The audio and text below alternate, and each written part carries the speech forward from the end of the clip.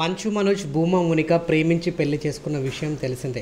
గత కొన్ని రోజుల నుంచి వీరు ప్రేమలో ఉన్నారు. త్వరలో పెళ్ళి చేసుకోబోతున్నారంటూ ఎన్నో వార్తలు సోషల్ మీడియాలో వైరల్ అయ్యాయి. వాటన్నిటికీ చెక్ పెడుతూ వీరిద్దరూ ఒకటయ్యారు.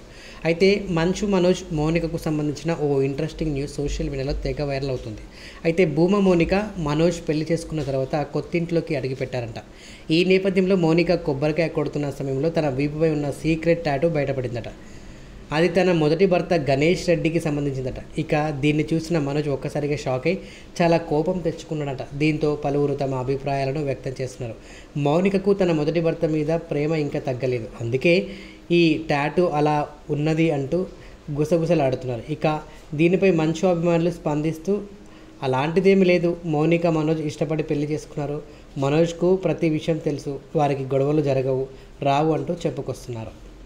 ఈ వీడియో కనుక మీకు నచ్చినట్లయితే లైక్ చేయండి షేర్ చేయండి కామెంట్ చేయండి. మరిన్ని లేటెస్ట్ అప్డేట్స్ కోసం మా ఈ ఛానల్ని సబ్స్క్రైబ్ చేసుకోండి.